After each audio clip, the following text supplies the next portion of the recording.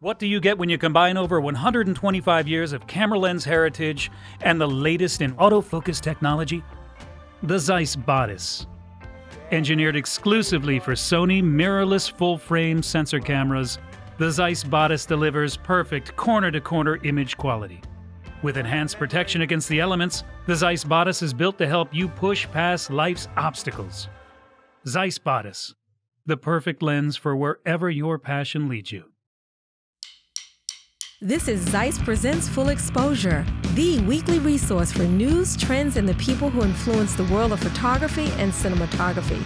Hosted by veteran photographer and filmmaker Jim Kamp. On episode 36, we sat down with New York based Italian born cinematographer Valentina Caniglia. Encouraged by her dad when he gave her a camera at a young age, she was drawn first to still photography and then evolved to film storytelling. Growing up in Naples, her influences range from legendary DP Vittorio Storaro to directors Stanley Kubrick and Lena Wertmuller.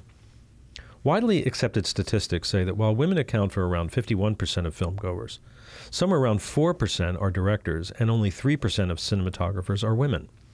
It's no wonder that Valentina speaks passionately about expanding opportunities for women in the film industry. Along with shooting features, shorts, music videos, and commercials for HBO, Canal Plus, Rai, Showtime, and Netflix, Valentina has also dedicatedly supported social issue groups, shooting nonfiction branded content for Planned Parenthood and the Children's Aid Society. She was also featured in The American Cinematographer for her camera work on the dramatic short The Stand. Since I was a child, I always I was always fascinated about the image and about actually the photography, uh, the still photography in that mm. time. So you know, my dad uh, brought me like you know a camera, a Kodak camera, which you know by that time it was kind of like the um, the roll was the film was in obviously in film stock, and there was uh, you know disc. So you had to actually put a, like you know the film on a disc, and you could shoot only 15 you know uh, picture and that was very expensive. So i was like really like you know managing in a way how i could actually choose the right picture so that i would not waste anything. And that's how it all started. And i remember that i always i, I was always you know with this camera in my uh, you know my hand. And wherever i was going i was always like you know shooting something that i really found more interesting.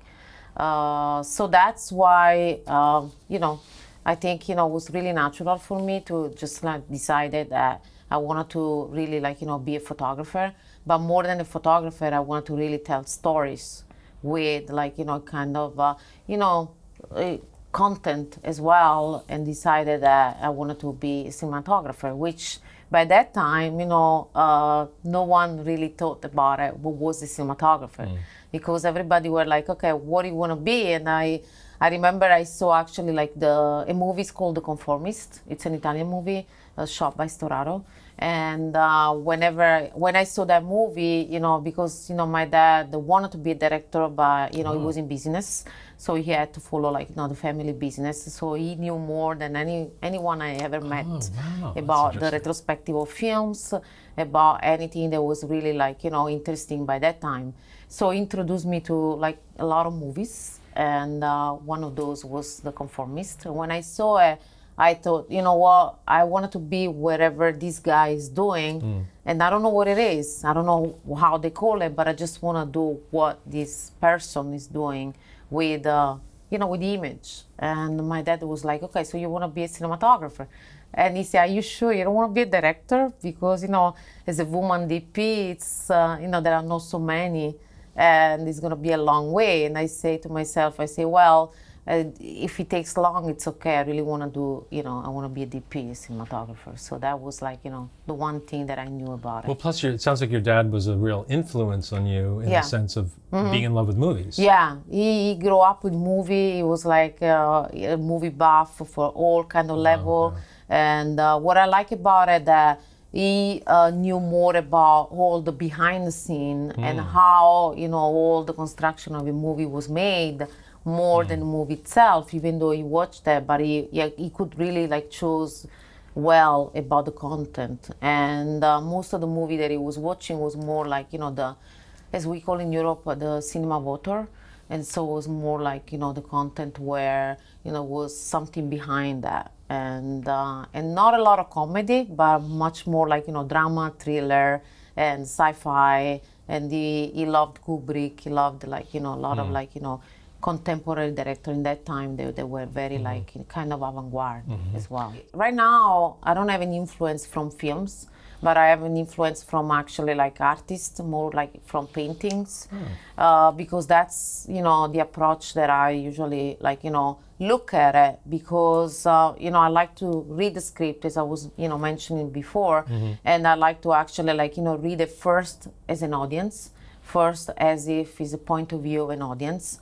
So I try to actually really understand the characters and develop the state of mind of a character and to that then I read the second time and I see it as as a DP and how I can actually translate the emotion through like you know the visuals and see how I can actually like you know really give something that a cinematographer can support and director for uh, and tell a story with that mm-hmm. you know because I don't think it's only about a beautiful image I think it's about mostly about telling a story and how you tell a story and how it grows on the visual aspect, but also like you know on a cinematic, a cinematic you know perspective as well. Uh, but it also, I think, what what I like about it that I I can really say like the emotion through the camera, and that's when the camera becomes one of the character.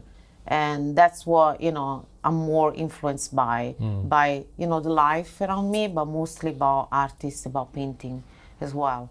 You know like uh, contemporary painting and also like you know really classical painting as well and not only about the lighting because i think there is something that we can if we watch closely there's always like you know something that really focus on details and i think uh, when you're a filmmaker and when you're a cinematographer, you really start to look at details uh, more closely. Sometimes, you know, gesture is more important than actually word, and maybe like you know, uh, sometimes like a close up of the eyes, it's much more significant than basically like you know a wide shot where everybody talk, or maybe you don't need to really like you know express that in a different like you know mm. way of like you know verbal way you can actually like you know just mm. see hmm. the visuals mm. uh, i think that's what a director also like you know likes about my style and uh, and that's what i really appreciate it because they see that they see that actually i really read the script and i go with the emotion of the characters because i really analyze and say okay you know uh, I think he, you know, director or maybe the writer wrote this and give life to these characters. So how me as a camera I can contribute in that, and now I can translate, you know, like the state of mind of a character on uh, like you know visual to visuals uh, with the choice of lenses or the choice of lighting and also like the camera movement as well. So it's all a combination of that. But it's important to also like you know be with the director and analyze all like these aspects.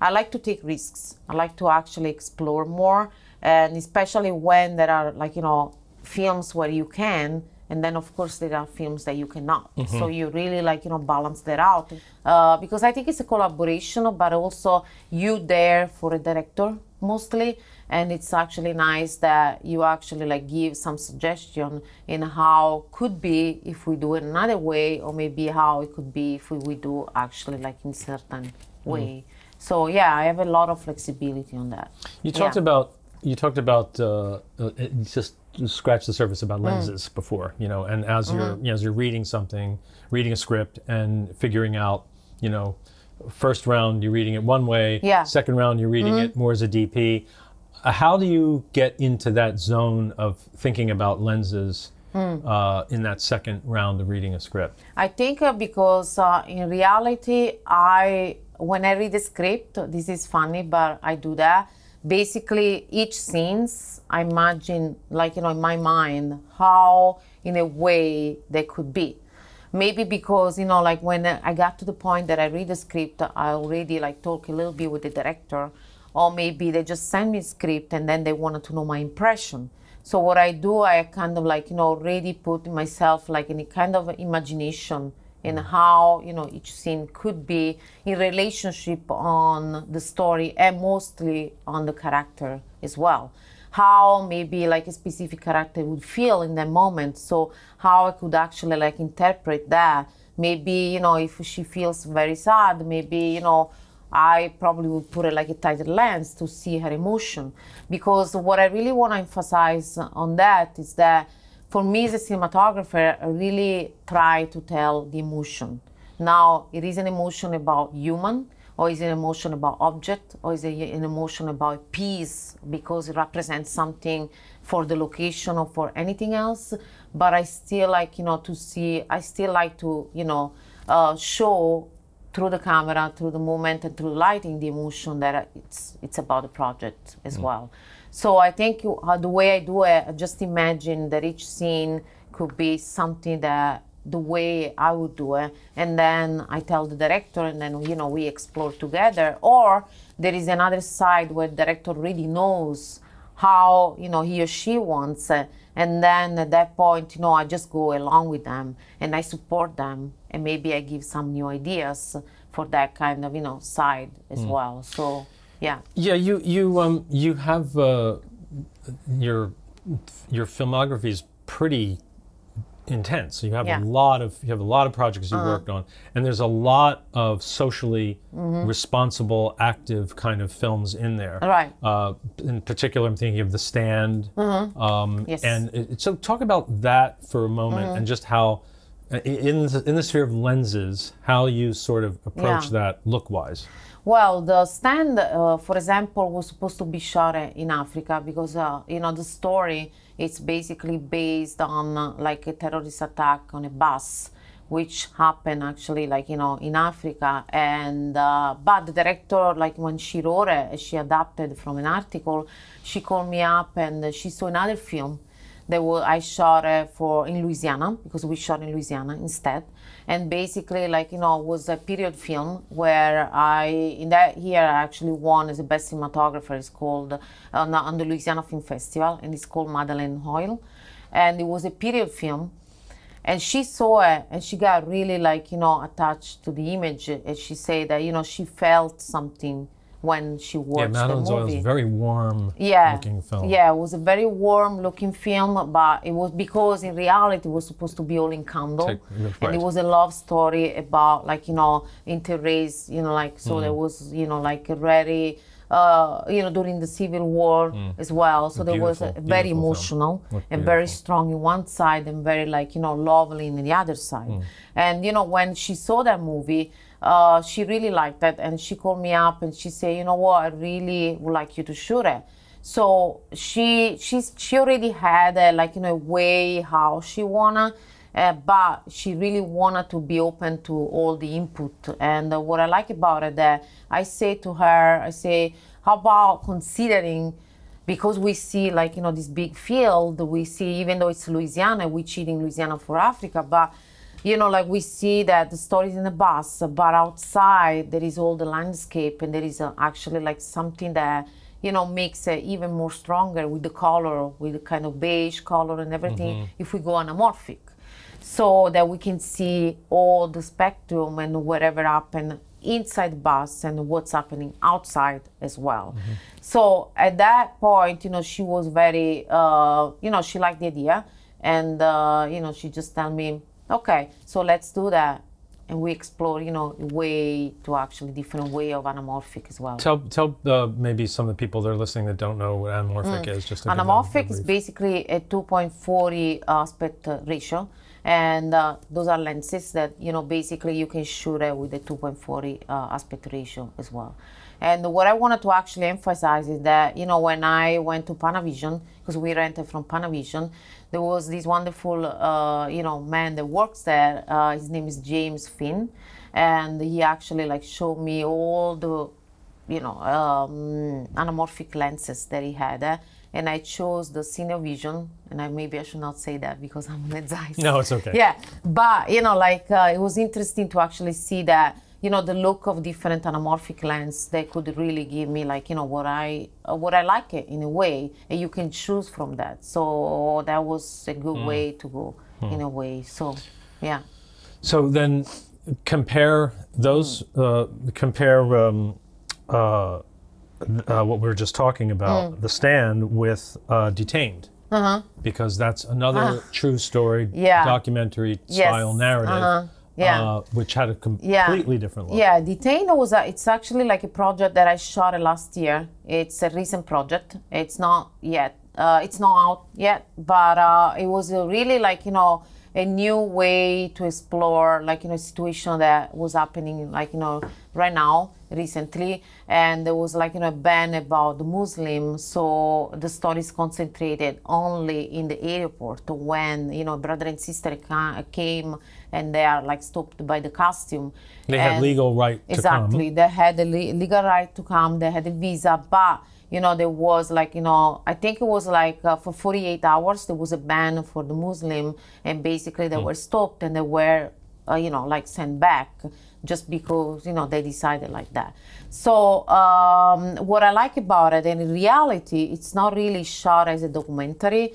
It's actually really like you know uh, a narrative film but it's shot very with a well-known like you know perspective in mind Where would you shoot it? We shot in New interior, York. Interior, so. in the interior we shot in the office in an office of like you know uh, editing office Uh-huh. uh, the actually the digital DTV office oh, really? so they had it looked like an airport It really looked like you know you got like you know, all the Uh-huh. But the color palette was very much like a. Uh, the like an- color palette, you know, was a choice that, uh, you know, I talked with the director a lot about that because in reality there was a predominance of green. green, yes. And uh, we decided to do that because, you know, in that moment, all the characters, they were very, like, you know, greedy. There was something about hmm. them that their soul became a kind of like, you know, in, in, in the beginning, it's actually changing because when they landed, it's very it's more realistic. So you see like you know the whole way of the airport and they all like you know happy. But then when the costumes started to stop and take them in the in the room everything changed because it's like now they are in their world and Right. now they are in a greeting world and they're kind of afraid Right. but still there is something that you know they want to struggle against the Did you shoot? Did you get to shoot in any of those that stuff in an airport? Uh, no, we didn't because we didn't have a You just- permit. you for just had to double yeah. something. No, we had to actually like you know cheat the hallway Mm-hmm. that we had uh, like in another place in a school. We shot in a school in Queens Ah, that looked like you know the airport. Okay. Maybe, yeah. was It was effective, very interesting. Yeah, very interesting. Yeah. So what's there's a there's a lot of stuff you told me about that we can't see because everything is in. Yeah. Mm-hmm. po- is in post right now. But tell us a little bit about what you're what you've got in the uh, in the crock pot now Mm-hmm. that you're cooking.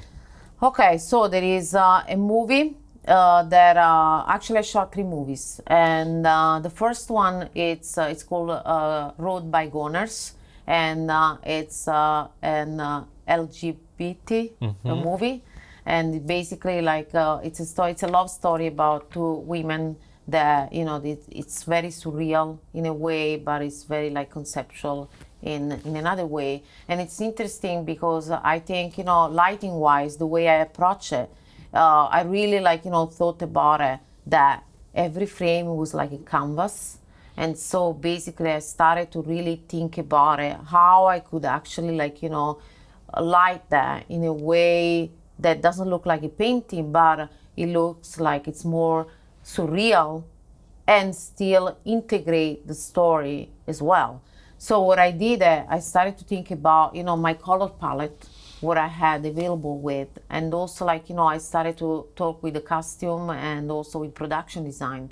And that was like a very good understanding about what kind of, you know, color palette I could use. I'm a DP that I like to bring also my own, you know, like uh, um, things on set, meaning that, you know, because I travel a lot, example, you know, when I went to India, I actually decided to, you know, use the muslin and really dye the muslin in a color and then making like, you know, the red muslin or maybe the blue muslin, depending on the skin color.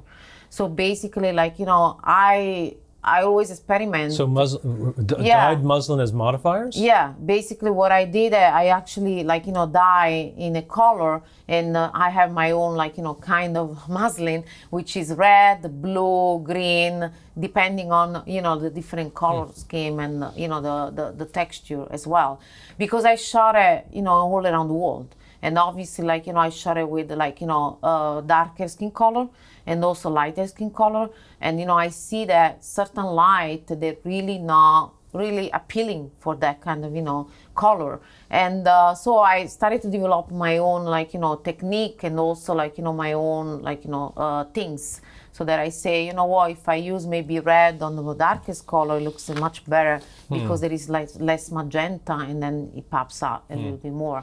Another technique that i use a lot it's actually i started when i you know when i have actually frame i started to lighting from the back and then I finish from the front. Hmm. I never started from front lighting. I always do the opposite. It basically, I approach it as if it's like a painting. So I started to analyze what's my key light, mm-hmm. and usually, like you know, I say, okay, I want to shoot it to eight or I want to shoot it two, but I really wanna. I always started from the back so that you know the frame becomes more like you know three dimensional, even though it's two dimensional, but it looks more like there is depth. Right. And I like that because it's a concept that I developed all my life because I grew up in a place where arts is all around me. And you know, in Italy, wherever you walk, you basically Yeah. always like you know accounting to a painting or something that you know maybe like a monument. And I noticed that you know since I was a child that the artists they always like you know really develop this scheme of like you know two dimensional and make them believe that it's like more two dimensional. And the technique was actually like you know to really hmm. light in from the hmm. back hmm. and then finish with the front if I need to. Maybe I don't need it. Mm-hmm. So it depends on the with, story. or with some negative fill. or Exactly. It depends on the story as well. So I I never say never because you know some people say I never use this kind of lighting or I never Yeah. use this kind of lens. I am always open because I think you know technology is actually there for us and we should be able to you know really support technology but also be really intelligent to know how to use it in our like you know advantage and mm. example you know when i light the ice i have my set of knife and i'm not cooking with that. I'm actually like you know really like you know use it. It's like chicken knife uh, kitchen knife sorry. And basically like you know i i use it to just give an highlights on the eyes. so what i do i actually shoot a light Into the in the knife. knife, and i actually have like a Where's the knife sitting on the mat box or something? no, usually it's like on a C-stand, Uh-huh. but you know this protection.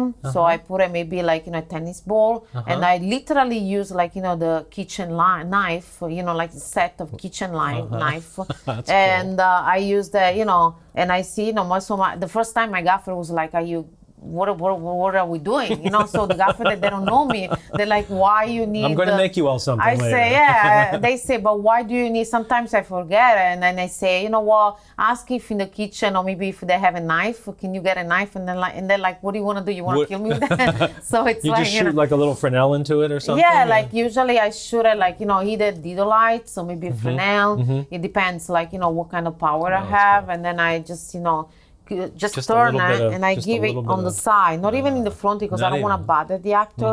I wanna, uh, you know, this is another thing for me. I really wanna have the actor that they feel comfortable Hmm. because for me performance is very important. Like in a way that director gets his or her performance, uh, and I don't want to stand in their way. I want that the actor feel free, and the same time they actually like lead properly for the scene and for their character. I think you know more attention needs to be shift into like no the female, the women DP as well, and the women director, because I think all of us we have uh, you know story to tell, and uh, it's just that you know people that need to give us a chance And a different perspective to tell it and from. a different perspective as Yeah. well. And I think you know uh, there must be more trust from you know like the business side, and just like give to the director women you know more power as well as if you know like you know they would give it to anyone else. Now I I support women in the business because I think that actually like you know female is the future as well. Actually, is the present, but uh, I also support men because I have to be honest. Those men they uh, th- those are the ones that actually like you know they really support me in a time where I was one of the few DP female out there, and uh, because of them, actually, I was able to shoot it. So now the way I support women, I also support those like you know men that they really support women as well. So it's all a chain as well. Example like you know lately I've been working with this wonderful director, you know Deborah Kampmeier, and we shot you know this movie called Tape and with uh, Isabelle Fuhrman. Can you tell us about Uh, that in closing, even though we can't show a clip of it? Yeah, I know you cannot, post, but I wanted to really uh, say Please, something no, about please, it please do. because we uh, we were so like uh, eager and we were so like courageous in a way of using different media for different point of view. So we shot with an Alexia. And we shot it with button camera. We shot with surveillance camera. We were supposed to shoot in film, but we didn't have actually the means financially to do that. And uh, this is something that you know really should be stressed because it, the story was a very, very, very important story that was supposed to be told with a different media, and we really wanted to show that. So when I, you know, I say to Deborah, you know what? Why don't we actually like you know have different like you know way of actually show the POV, the different point of view. And she was very open-minded.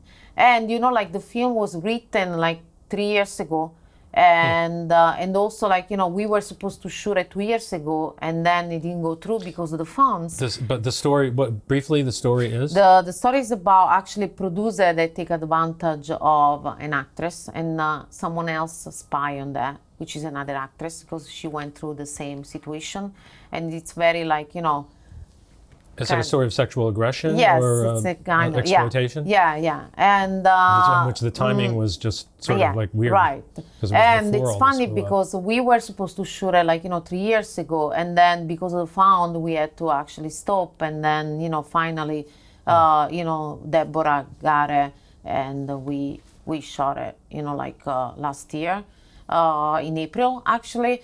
And it was very intense because uh, it's uh, what I want to try to say is like, you know, give trust, you know, to the director women uh, give trust to producer women, but also like to DP women as well, uh, because that's what is missing now. It's missing the fact that actually like you know they probably they don't trust us enough to do like you know bigger budget, but I think you know we show that we can do it and we can be on the same level with everybody else. Yeah. Terrific. Yeah. Well, thank you again. So thank you so for- much for coming down. It was a pleasure. appreciate yeah. it. Thanks. For a bonus segment of Valentina describing how she danced as she shot part of the Unstoppable campaign for Planned Parenthood, visit us on Instagram at Zeiss Full Exposure. Thanks for tuning in. Join us next time for another edition of Zeiss Full Exposure. If you can't watch, you can always catch the audio only version on iTunes, Spotify, or wherever you get your favorite podcasts. Follow us on Instagram at Zeiss underscore full exposure or on the web at ZeissFullExposure.com. And to learn more about the latest in Zeiss lenses, head to Zeiss.com.